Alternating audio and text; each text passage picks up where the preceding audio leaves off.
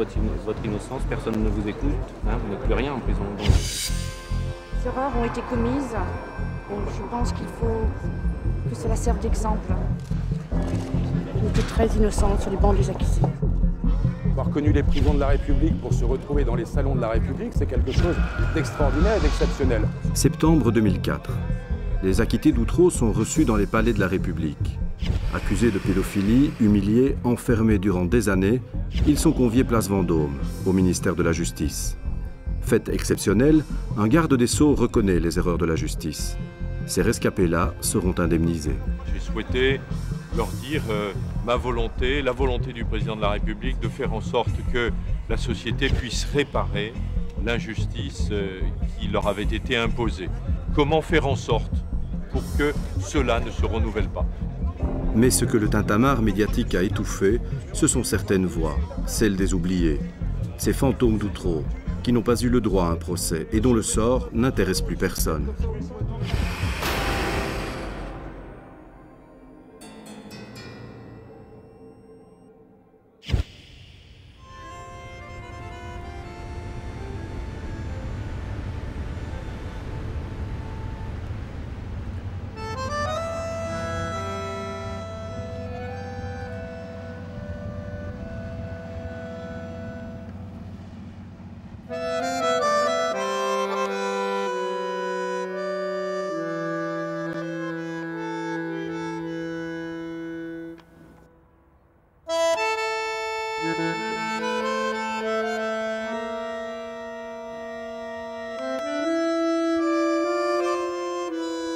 C'est vraiment le fin du fond.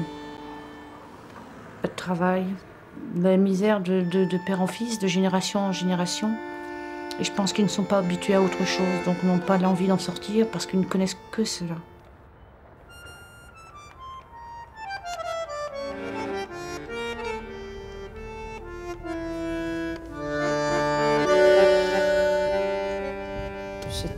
Quartier qu'on m'avait indiqué comme mangeant plus de bonbons que de viande.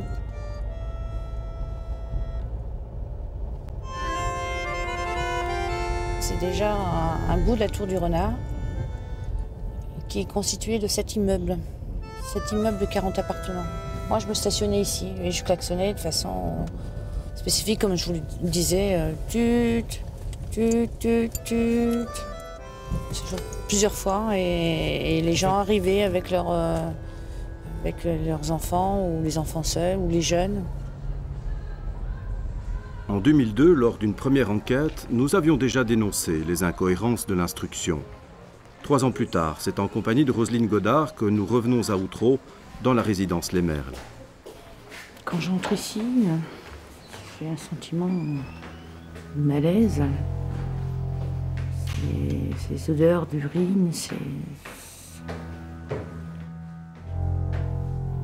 Les accusations étaient, terribles. C'était que j'insérais des baguettes de pain dans l'anus des enfants. Je les mangeais derrière. Il y avait d'autres accusations tout aussi affreuses. On utilisait des objets, euh, plusieurs personnes euh, se- sur un enfant, des chiens, des chevaux, je ne sais plus bien. il y aurait eu une soixantaine de personnes mises en cause par ces enfants qui seraient venus et, auraient fait ces, atrocités. C'est impensable, c'est. C'était ici au numéro 20.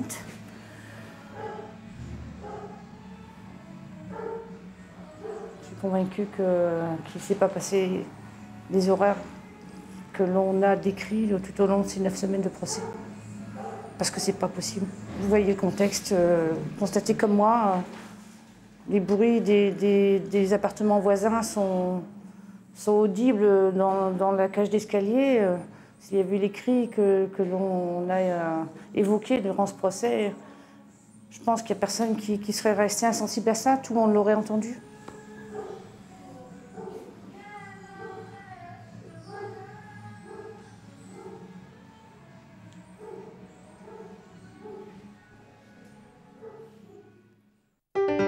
De justice de Saint-Omer, au printemps 2004. Durant trois mois, victimes, accusés et témoins vont raconter leur vérité. On remonte le cours de l'enquête. En 2001, des enfants dénoncent des abus sexuels dont ils auraient été victimes. Myriam Badawi, leur mère, avoue, puis accuse son mari, ses voisins, ses amis, évoque un réseau de pédophilie menant vers la Belgique. Une soixantaine d'habitants d'Outreau sont dénoncés. Mais au cours des débats, la thèse du réseau s'effondre. Les séances du tribunal révèlent au grand jour les failles de l'instruction du jeune juge Burgot. C'était sa première grande affaire. Le jour du verdict, après 16 heures de délibération, la Cour rendra un jugement de Salomon, 10 condamnés et 7 innocents. Le cauchemar qui est terminé pour moi, mais bon. Un grand sentiment d'injustice. Un grand sentiment d'injustice. Pour les autres? Tout à fait. Moi, je suis convaincue de l'innocence des, des personnes qui ont été condamnées à tort. Il y a 13 innocents. À la sortie du palais de justice, les médias se jettent sur les acquittés et les condamnés. Tous les feux de l'actualité sont braqués sur eux, mais pas un mot ni une pensée pour d'autres, les grands oubliés d'Outreau. Ces fantômes dont personne ne se souvient, ces anonymes abandonnés sur le bas-côté de l'enquête.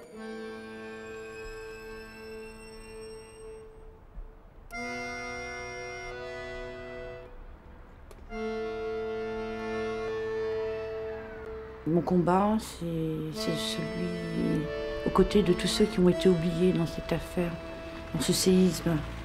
Il y a des, dizaines de victimes dont on ne parle pas. Et j'ai à cœur aujourd'hui de, me battre à leur côté pour qu'on on puisse entendre cette injustice. Roselyne nous emmène chez Monique Foucroll, une des victimes oubliées de l'affaire. Elle vivait au premier étage des Merles et c'était une amie de Myriam Badawi. Monique fut pourtant l'une des premières à être dénoncée.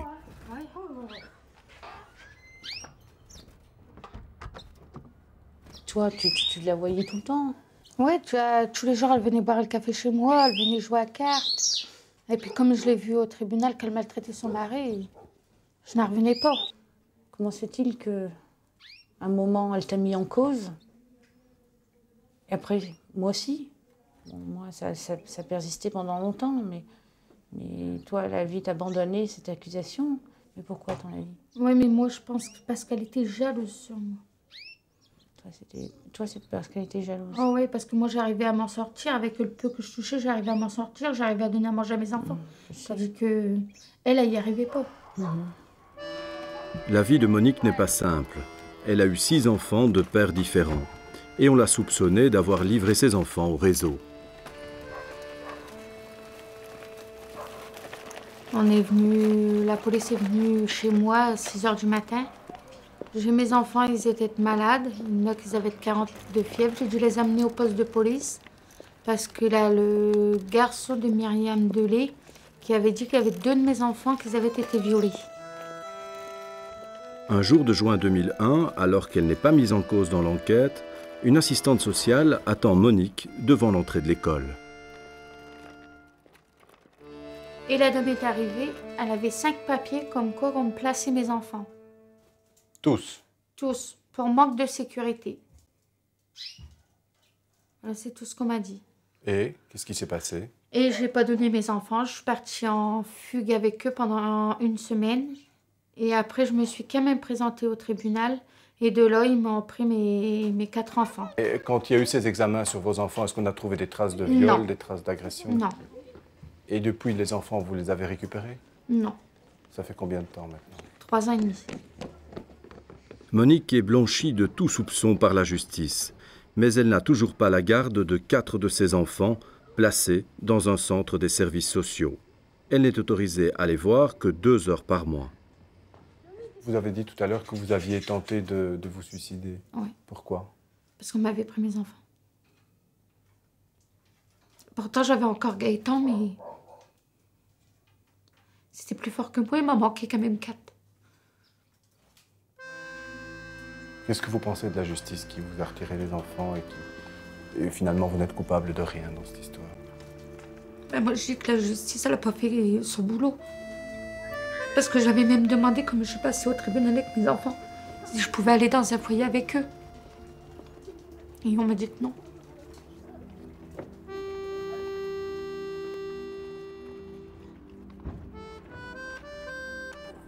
Sors et tu vas, euh, on va vers la HLM, faire un petit tour, et après on va, on va revenir. Allez, viens. Voilà. Deux rues plus loin, face à la Tour du Renard, c'est là que vivent Jean-Marc Couvelard et sa maman. Sévèrement handicapé depuis sa naissance, Jean-Marc fut placé en garde à vue dans les débuts de l'enquête. Une méprise tragique, bien sûr. Mais comment comprendre que cette bévue n'ait pas fait douter le juge Burgot, tant les accusations portées contre Jean-Marc étaient insensées? Pour que ce qui concernait Jean-Marc, l'enfant a dit euh, et Jean-Marc nous, nous mettait des baguettes de pain dans le derrière, mais comme elles étaient trop grosses, il en a fabriqué des plus petites. C'est impossible que Jean-Marc puisse agresser un enfant, parce qu'il n'a pas d'équilibre et, disons, il ne peut pas retenir un enfant de de deux ou trois ans. C'est impossible. D'abord, il n'est pas méchant, il est absolument inoffensif. Pour lui, le sexe, la sexualité n'a jamais existé. Euh, non, et Myriam Badawi le sait très bien, de toute façon.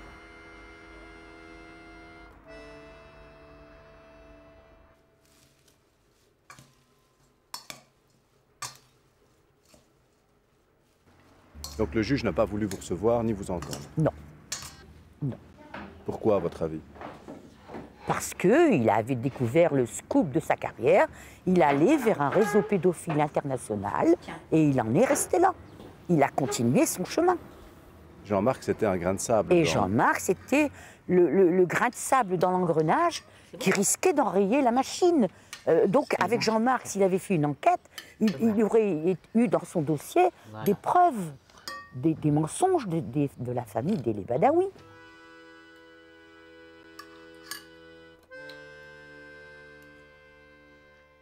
Sylvain Danger ne comprend pas vraiment ce qui lui arrive. En prison depuis près de trois ans, il vient d'être libéré, comme son épouse, comme son frère et quatre autres personnes de Les dangers ont eux aussi été dénoncés par Myriam Badawi.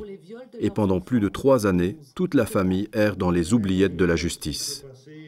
Trois frères, Patrick, Sylvain et Didier, sont mariés à trois sœurs. Tous vivaient à la Tour du Renard. En novembre 2001, alors qu'ils sont entendus pour une autre affaire de mœurs au palais de justice de Boulogne, Myriam Badawi les croise dans un couloir et les désigne.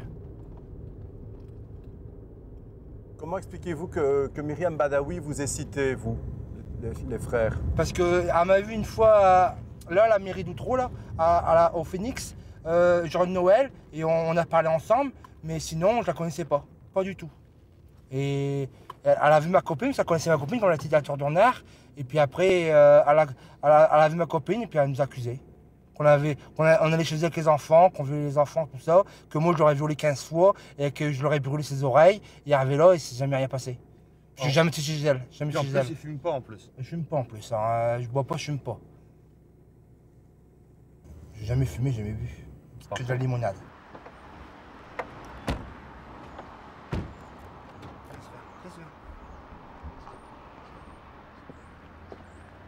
Plus de copines, plus de maison, plus rien. Plus personne.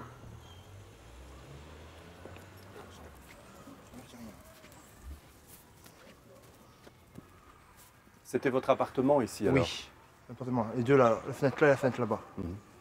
Vous avez été quoi Chassé de l'appartement Non, non, on était mis en prison. Immédiatement on était mis en prison. On a pris nos enfants, on a mis en, matin de bonne heure et puis on est parti en prison. Une journée en garde à vue et après en prison. Et depuis, vous n'êtes plus jamais revenu Non, on ne peut pas revenir. Je ne pas à revenir. Non. J'ai trop de bons souvenirs là-dedans.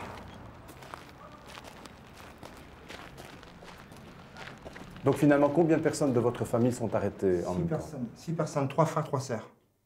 Et tous pour les mêmes faits Pour accusation de pédophilie, oui. Vous, au moment de, de vos arrestations, qu'est-ce que vous dites? Vous, vous, vous On a- reconnaissez on- on- quelque chose ou... Non, rien du tout. On, on a quand même tout le sens depuis le début. On dit qu'on n'avait rien fait, tout ça. Puis arrivé là, euh, ils ne nous ont pas cru. Et finalement, vous êtes resté combien de temps en prison? Moi, 32 mois. 32 mois. 32 mois. Et vous? Moi, 34 mois. Et vous, Fabienne? 32 mois. Et alors aujourd'hui, vous êtes sorti? Depuis combien de temps Depuis le 9 septembre 2004. Et quoi Vous avez été acquitté Vous avez été condamné à Non, une rien peine du tout, rien du tout, sans contrôle judiciaire, sans rien. Comment ça s'est passé alors cette sortie C'est bizarre. Bah, c'est c'est au soir, on nous a dit qu'on était libérés, c'est tout. Comme ça Comme ça. On vous avait prévenu quelques jours Non, rien du tout. Rien du tout. Qui est venu vous dire ça Bah, un, un surveillant. Vous allez être jugé, vous pensez Bah, je ne sais pas. J'espère pas, mais s'il faut, s'il faut être jugé, on sera jugé. Un matin, on leur a dit Vous allez sortir. Vous allez sortir pourquoi? On leur a pas dit ouvertement, mais parce qu'il y a eu un tel fiasco dans la première affaire. La justice s'est totalement trompée dans le premier dossier d'Outreau qu'on ne peut pas vous garder en prison, mais pour le moment, on ne va pas vous juger. On ne va pas vous juger parce que un deuxième orage, un deuxième coup de tonnerre au sein de l'institution judiciaire française, c'est pas possible. La famille d'Angers incarcérée, Jean-Marc Couvelard arrêté, les enfants de Monique Foucrolle placés. Ce sont les victimes oubliées des errements de l'enquête. Leur vie en a été saccagée. Des fantômes qui hantent Outreau.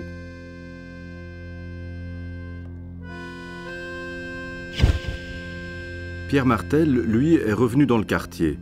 Ce père de famille sans histoire était accusé d'avoir transporté les enfants dans une ferme en Belgique. Là, ils auraient été abusés et filmés. Taxi Martel, j'écoute. Oui, bonjour Christophe. Après plus de 30 mois de prison, Pierre Martel a été acquitté par la cour d'assises. Euh, Là, par exemple. Donc vous voyez, là, c'est un client qui m'appelle d'un magasin, le magasin ED, euh, pour aller le rechercher. Il a fait ses courses et il m'appelle pour aller le reconduire chez lui. Et il habite Euh, la Tour d'Urner. qui c'est qui mange la galette? Pas trop. Les clients que Pierre transporte sont sans emploi. Ici, la voiture est un luxe et les magasins sont éloignés. Alors, tous les 5 du mois, le jour des allocations, on se paie le taxi pour se rendre dans les grandes surfaces. Les délais Badawi étaient ses clients depuis longtemps, mais aujourd'hui encore, il ne comprend toujours pas ce qu'il s'est passé. Pour moi, c'était des clients comme, comme les autres.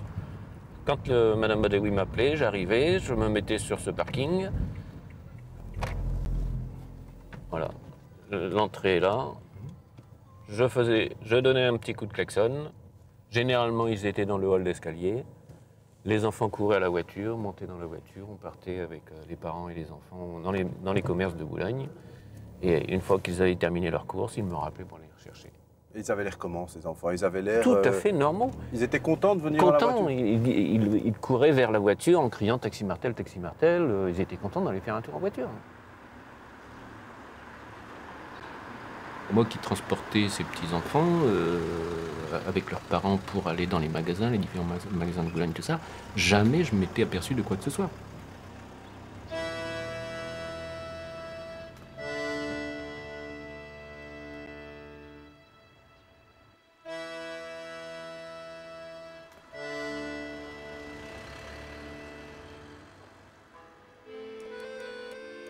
Cette époque, Kevin et Dimitri sont pourtant déjà placés en famille d'accueil pendant la semaine pour cause de mauvais traitements. Ils vivent à Samé, un petit village situé à une vingtaine de kilomètres d'Outreau. C'est là que les enfants accusent leurs parents et certains voisins d'abus sexuels. Les premières personnes à recueillir la parole des enfants sont les assistantes maternelles. Ces mères de famille transmettent alors au parquet de Boulogne les dires du jeune Dimitri, alors âgé de 6 ans. On va apprendre à l'audience que l'ensemble des propos consignés dans ce rapport qui va être adressé au parquet sont des propos non pas tenus par l'enfant Dimitri, mais tenus par ces dames qui profitent d'un certain nombre d'observations, de connaissances qu'elles peuvent avoir pour alerter le parquet. Jamais, jamais l'enfant Dimitri donnera les détails qui sont donnés ici. Elles essaient, à l'intérieur de l'instruction, de construire une enquête. Au lieu d'être spectateurs pour recueillir cette parole de l'enfant, elles deviennent acteurs de la procédure. Ce ne sont pas des gens qui sont compétents pour recueillir la parole d'un enfant. Donc, elles aussi, je leur en veux énormément, hein, parce que je pense qu'elles ont fait beaucoup de dégâts. hein. Beaucoup de dégâts dans cette affaire. Donc, on ne peut pas en vouloir aux enfants. Les enfants, ce sont des enfants. On a été enfant. On sait ce que c'est que de mentir pour ne pas avoir une punition, un truc comme ça. Donc, euh, Un enfant, je pense qu'on peut, on peut lui faire dire un peu n'importe quoi. Et des enfants, vous savez. Les déclarations recueillies par les maires d'accueil sont ensuite traitées par les services sociaux de la région. Quelques responsables gèrent tous ces dossiers et ce sont toujours les mêmes signatures que l'on trouve au bas des rapports. Durant plus de deux années, les services sociaux vont sans aucune hésitation livrer à la justice des listes interminables de prétendus suspects désignés par les enfants.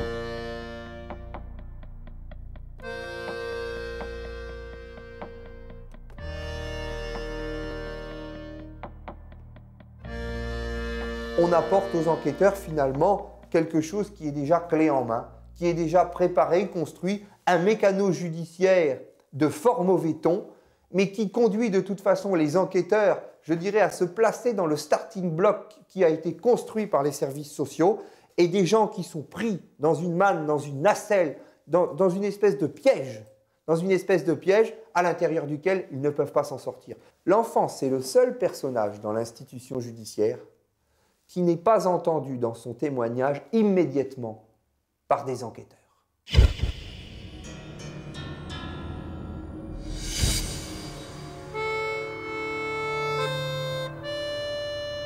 Ce sont ces enquêtes menées par les services sociaux qui conditionnent les premiers interrogatoires menés par le juge Burgot. Des interrogatoires pour le moins étranges. Lors de son arrestation, Thierry Dosque habite au Merle. Il va passer 36 mois en détention préventive. Jour après jour, il nie toute implication. Faut pas pleurer aujourd'hui. hein. Pourtant, pour le magistrat instructeur, le sort de Thierry ne semble guère poser de questions. Et lors du procès, la cour d'assises le condamnera à 4 ans de prison.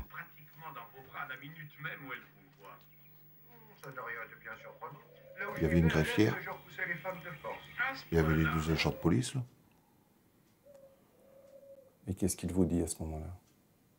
Bah que euh, il a demandé notre euh, placement euh, en détention. Et vous réagissez comment?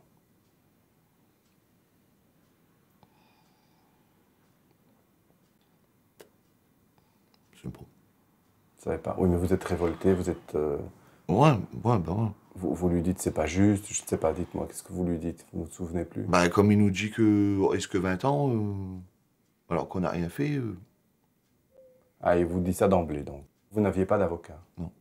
Pourquoi? J'en ai pas eu pendant un an.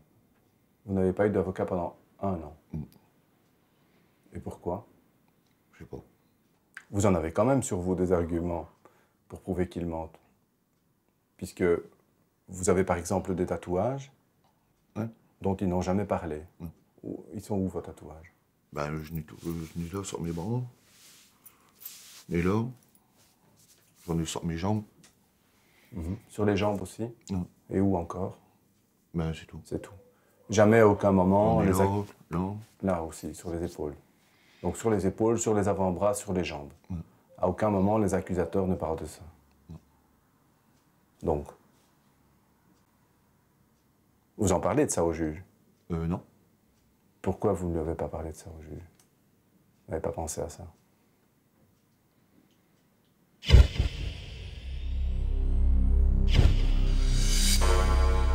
Sandrine et Franck vivaient aussi à la Tour du Renard. Ils seront condamnés malgré des accusations totalement invraisemblables. Aujourd'hui, ils n'ont pas le droit de se fréquenter et leurs enfants sont toujours placés. Déjà concernant une de mes filles, comme quoi elle avait été pénétrée euh, vaginalement, euh, tout quoi. là. Elle euh, avait tout mis euh, comme accusation. Et ma fille a été reconnue médicalement vierge. Et bah, rien de tout ça n'a été retiré quoi. On nous a laissés jusqu'au bout. Accusation portée contre mes deux derniers, ben, re- remontée euh, à une date où ils étaient même pas encore nés. Sandrine a été enceinte de Cassandra. J'ai été accusé pour le viol de Cassandra. Euh, Lucas, Lucas, j'ai été accusé du viol de Lucas en 99. Il est né en 2000. J'avais des, des actes de barbarie. Euh, comme quoi que je faisais violer les enfants avec des chiens, des, des chèvres, tout ce que vous voulez. Quoi. Des chiens et des chèvres. Oui. Ça a été des choses incroyables. Je crois dans une déclaration, je, un des enfants dit que je suis en train de sodomiser une vache.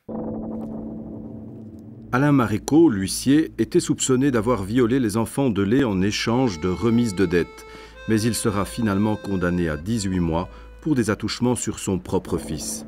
Il reste lui aussi marqué par ses interrogatoires. On me fait asseoir devant un bureau, on attache ma main droite sur une menotte et qu'on me fixe au sol. Et je reste pendant à chaque interrogatoire, je suis attaché comme ça. Penché donc Penché, parce que le sol est très très bas et la chaîne très très courte. Et donc vous restez combien de temps attaché de cette Et manière? ben, je fais l'objet de plusieurs interrogatoires sur deux jours. Donc plusieurs heures À plusieurs heures. Et là, j'ai l'impression de vivre un mauvais film de série B. J'ai tous les ingrédients. Il me manquait la lumière dans les yeux.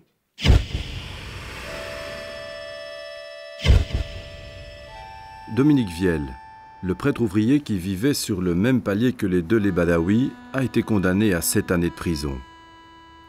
À aucun moment il n'eut le sentiment d'être entendu par le juge.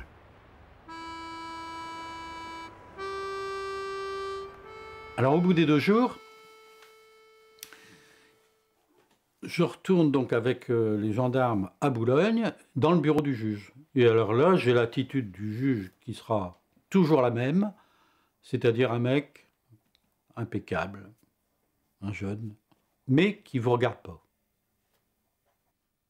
Il m'accuse de zoophilie, d'un enfant qui parle en plus. Enfin, on en découvre, on en découvre à chaque fois. Chaque fois, c'est pour, pour m'accuser encore d'autre chose. À ce moment-là, je lui dis, vous êtes fou, ça va pas à la tête. Et il me répond, outrage à magistrat, deux ans supplémentaires. Mais je dis, mais c'est rien, vous savez, on- au point où j'en suis, euh, je suis plus à deux ans près. Bah là, il n'a pas le sens de l'humour. hein. Ces interrogatoires sont menés par un juge qui ne semble jamais douter. Il ne doute pas car il croit Myriam Badawi sur parole. Mais comment comprendre la crédulité du juge devant les propos de Myriam Badawi, la principale accusée dans cette affaire? Nous retrouvons son frère Malik à Outreau sur les lieux de leur enfance. Myriam n'a-t-elle pas accusé son père d'abus sexuels alors qu'elle était enfant? Mais peut-on la croire? Alors Myriam euh, a dit pendant le procès, pendant l'instruction, que, que votre père, son père, Non, avait abusé d'elle. Non, non, on, on était là, on aurait tous vu. euh. Elle, elle dormait où, elle, par exemple? Bah, elle dormait dans la même chambre que moi, en fait. Mais souvent la vente, hein, même euh, dès qu'elle était petite, déjà, elle arrivait à mettre ses copines dans, dans la poche, euh, elle arrivait à faire croire n'importe quoi. euh, elle a peut-être une vérité, mais elle amplifie cette vérité. Et peut-être qu'elle l'amplifie trop et ça devient, ça devient presque euh, du cirque, quoi. C'est comme si c'était. euh, c'est de la fabulation pour moi. Ce que l'on ignorait et qui est plus troublant, c'est que la justice avait les moyens de savoir que Myriam Badawi était une menteuse. Trois ans avant l'affaire d'Outreau, Myriam et ses enfants avaient déjà inventé une première affaire de pédophilie, une répétition générale du drame. Ouais, elle me l'avait dit, dans la cave, qu'elle avait été agressée par quelqu'un dans la cave. Ça, elle vous avait expliqué. Oui, elle Qu'est-ce m'avait- qu'elle vous avait expliqué exactement Non, elle m'avait dit qu'elle a été convoquée à la police parce que son garçon il avait été agressé dans la cave, mais c'est c'est tout ce qu'elle m'avait dit, Sans plus. sans plus. Ce dossier, oublié de tous, révèle qu'en 99 déjà, Myriam Badawi et ses fils, Dimitri et Kevin, avaient accusé à tort un voisin. Dimitri prétendait avoir été abusé dans la cave de l'immeuble. Six mois plus tard, la mère et ses enfants avouent avoir tout inventé.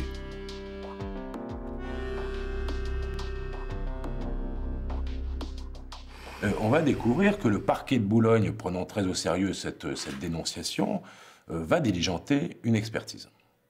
Nous sommes le 6 janvier 99. Un expert qui, s'appelle euh, Jean-Pierre Diquès, qui est expert à la cour d'appel de Douai, va effectuer un examen complet à la demande du, procureur de, Boulogne-sur-Mer euh, sur l'enfant Dimitri. Nous sommes bien avant l'affaire d'Outreau. Nous sommes sur la base d'une accusation de cet enfant perpétré en dehors, encore une fois, de, des, des faits qui seront par la suite dénoncés. Et il dit aucun élément clinique ne permet de dire qu'il y a eu des évices sexuels ou attentats à la pudeur sur cet enfant. Nous avons une expertise réalisée le 6 janvier 99 par un expert qui vient dire que le 6 janvier 99, l'enfant Dimitri, qui est l'enfant qui est au centre de l'accusation, au centre de l'accusation, celui qui accuse le plus, celui qui accuse essentiellement un nombre important de personnes comme ayant perpétré les faits, il n'y a rien, aucune trace. Il va falloir une année pour que ce rapport soit versé à la procédure.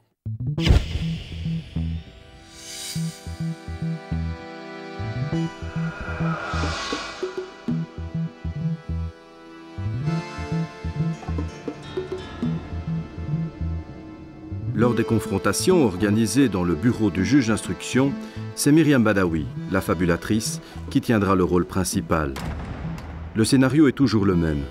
Myriam Badawi et deux voisins qui la soutiennent dans ses accusations d'un côté, l'accusé de l'autre.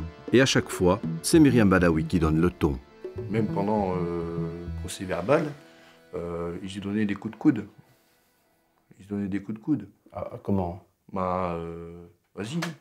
Euh, je voyais même Myriam Badawi dire à Aurélie Gonon, vas-y, dis-le, dis-le, dis-le. Dis-le que c'est vrai. Euh, je suis désolé, mais c'est pas une confrontation, ça. C'est pas une confrontation. Combien de fois euh, M. Lavieille a violé?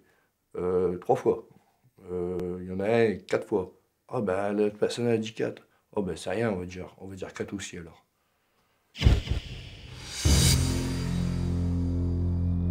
Myriam Badawi, elle a fait son scandale euh, pour me faire avouer, quoi. Qu'est-ce qu'elle disait?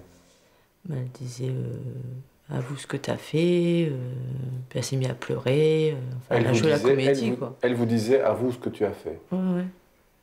Puis elle a même, elle a même montré son poing euh, en voulant savoir qu'elle voulait me taper, quoi. Devant le juge. Et le juge? Ben, le juge, il n'a pas bougé, quoi. Donc c'était plutôt elle qui vous posait les questions. Ouais, c'est elle qui menait la barque, en fait.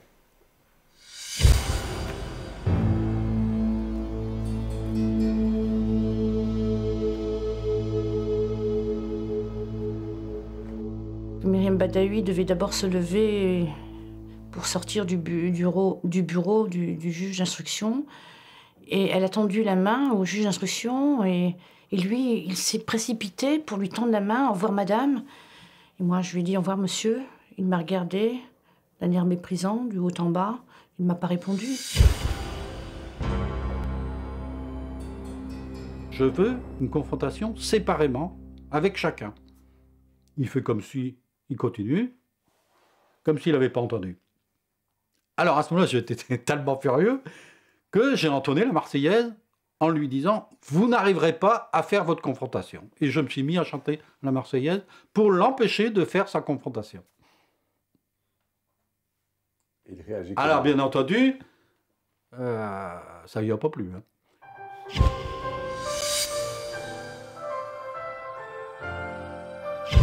Myriam Badawi, qui était à côté de moi, de l'autre côté du gendarme, elle se sauve, elle fait le tour, elle se sauve, tout en pleurs.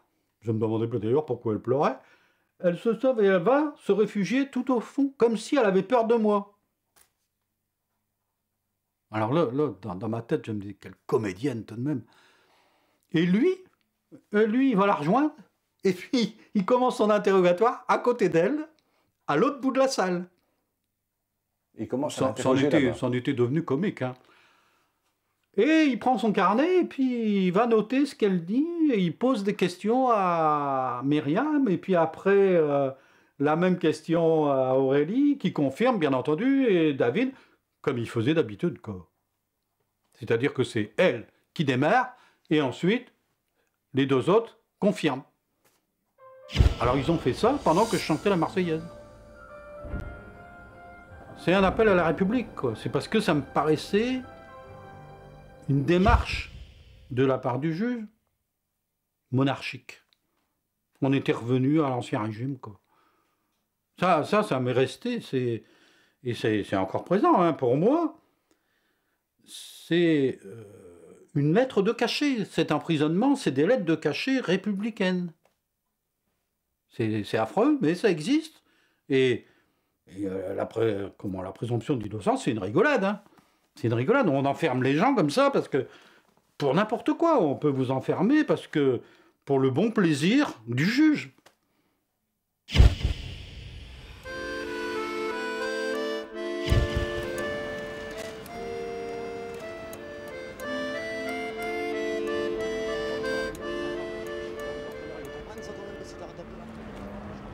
Une autre famille a été emportée par cette hystérie judiciaire.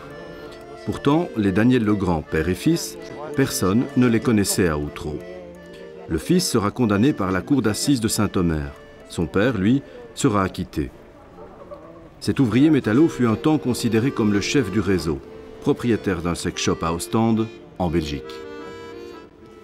J'étais en Ostende il y a plus de 35 ans avec mes parents, alors euh, c'est pas mon coin de toute façon. Bah, de toute façon, tout ça, je vous l'ai dit, moi. Vous n'avez jamais filmé des enfants? Non, non, jamais, jamais. Je sais même pas m'en comprends.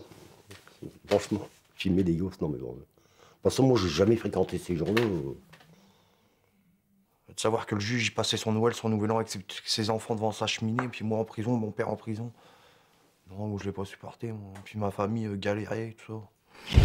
En janvier 2002, le jeune Daniel provoque un coup de théâtre. Le 4 janvier, alors qu'il crie son innocence depuis deux mois, le jeune homme expédie du fond de sa cellule un courrier au juge. Il y affirme avoir assisté au meurtre d'une fillette belge dans l'appartement des Delay Badawi. Des révélations qui déclenchent la frénésie. Enquêteurs et journalistes s'agglutinent autour d'un petit jardin. C'est un ouragan judiciaire et médiatique. Jusqu'ici, on n'avait que des accumulations de paroles. Mais cette fois, le juge Burgot pense détenir enfin la preuve matérielle qui lui manque, le corps d'une petite fille belge. Je vais lui mettre un gros mensonge sur le doigt, Madame Badawi, puis peut-être qu'elle finira par euh, dire la vérité en accusant pas son mari, quoi. Elle dira que c'est pas vrai, ce mensonge-là, puis tout le reste est faux aussi. Je pensais que bah, tout serait écroulé, quoi. Puis arrivé là, bah, quand je suis rentré au soir dans ma cellule, ouais, le soir, je sais plus, quand je revenais du juge, elle a confirmé. elle a confirmé, puis là, j'ai pas compris, quoi. Je me suis dit sur qui je suis tombé. Assez curieusement, quatre jours plus tard, le juge lira la lettre à Myriam Badawi. Face à ce mensonge, allait-elle nier? Eh bien non, elle s'exclame, c'est la vérité, et livre même de nombreux détails sordides sur le meurtre.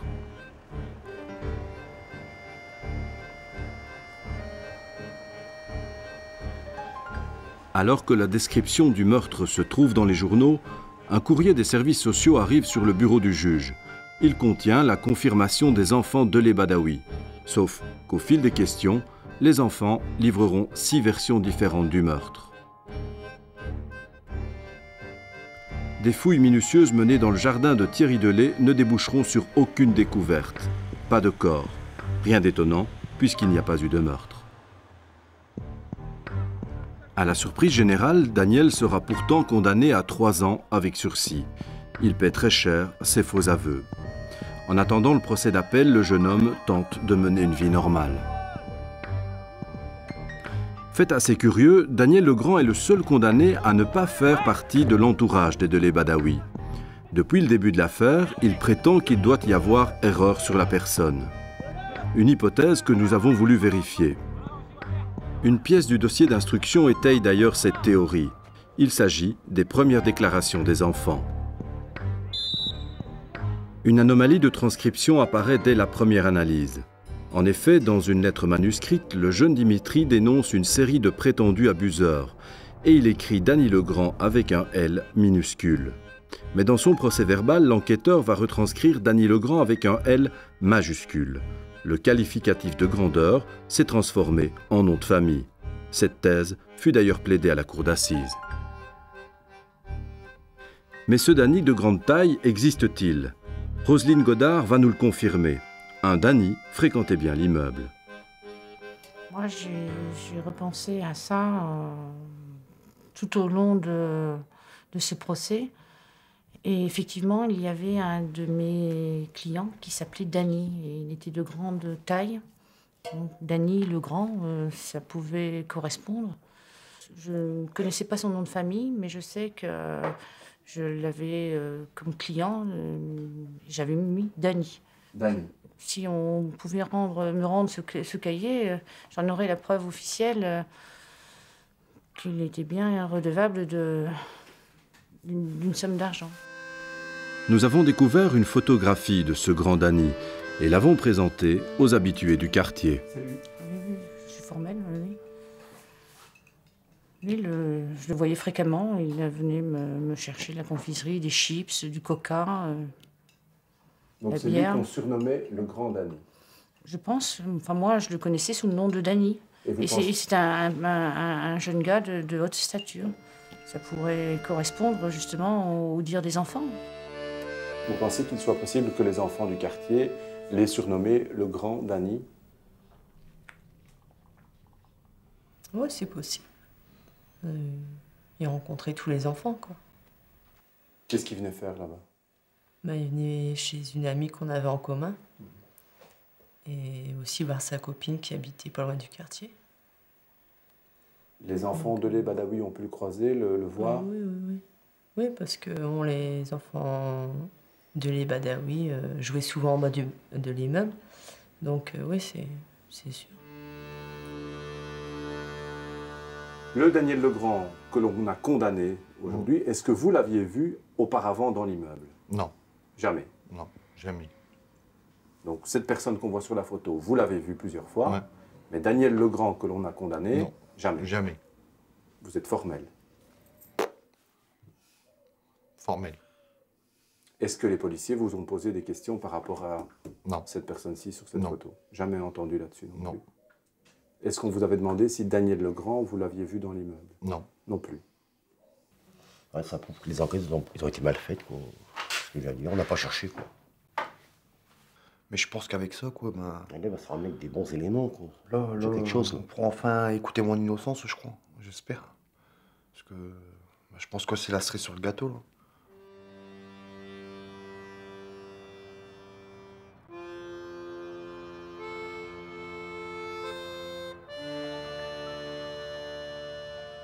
À cause d'une enquête inefficace, le père et le fils Legrand auraient donc passé plus de trois années derrière les barreaux pour avoir été confondus avec un grand Dany. Bien entendu, il ne s'agit pas de préjuger de sa culpabilité. En tout cas, selon nos informations, il habiterait aujourd'hui dans le sud de la France. Un autre fantôme d'Outreau.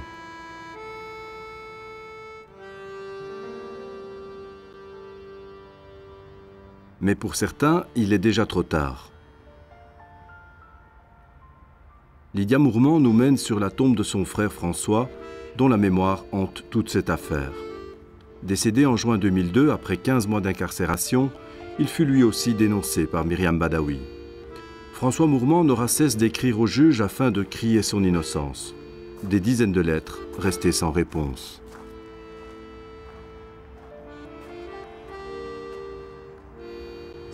Aujourd'hui, il ne devrait pas être ici. Aujourd'hui, il devrait être avec nous. Moralement, il en avait marre de- des accusations qu'il avait. Et il se battait jusqu'au bout euh, pour prouver son innocence, mais personne ne l'a écouté. Et aujourd'hui, maintenant, ben, il est ici. À cause de la justice, il est ici.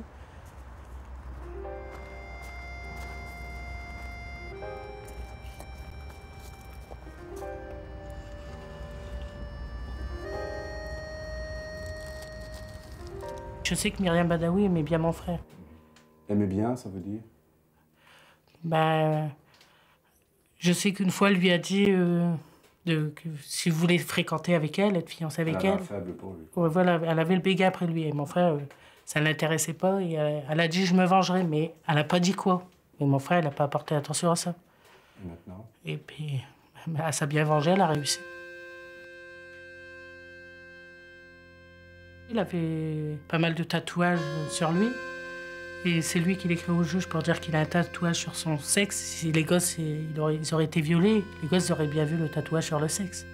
C'était quoi comme type de tatouage? C'était le nom de sa femme.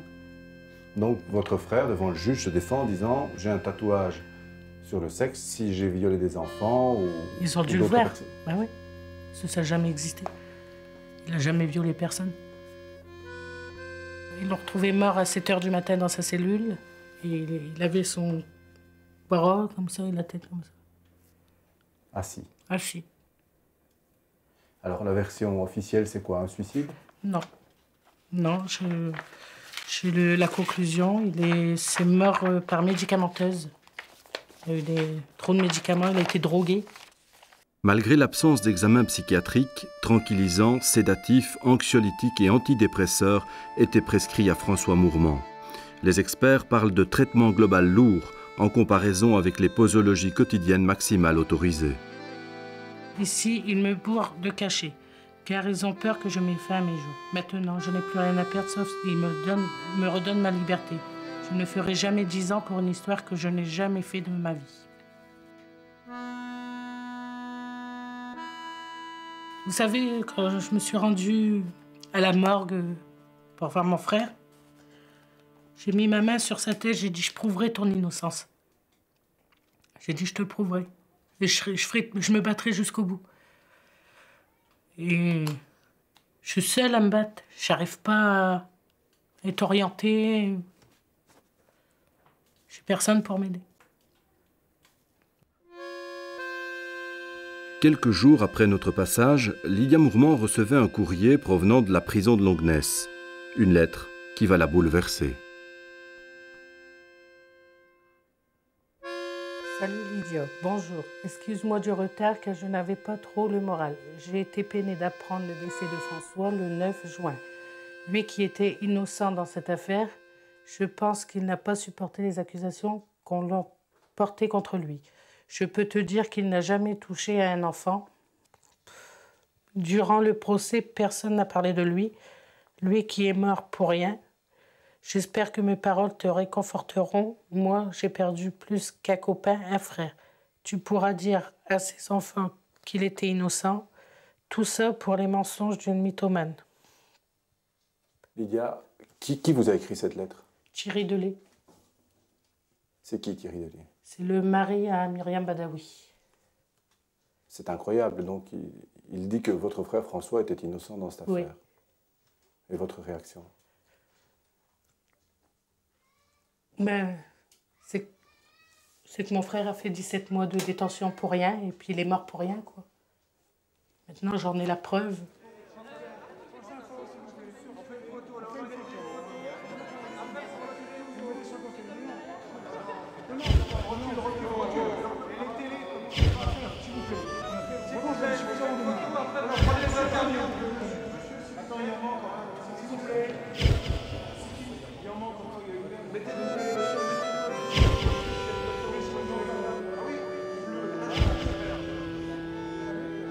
On avait tous été euh, incarcérés pour euh, rien, pour rien, suite à les déclarations d'une folle, d'une malade. Et, et d'un juge, peut-être naïf. Vous vous rendez compte de la responsabilité de cet homme? Il a dans ses mains l'honneur d'un homme, de sa femme, de ses enfants, de ses petits-enfants. Comment peut-il jouer avec ça? Moi, j'en veux au juge d'instruction qui a mal fait son travail. J'en veux pas au juge lui-même, à Fabrice Burgot, j'en veux pas, j'en veux à son incompétence.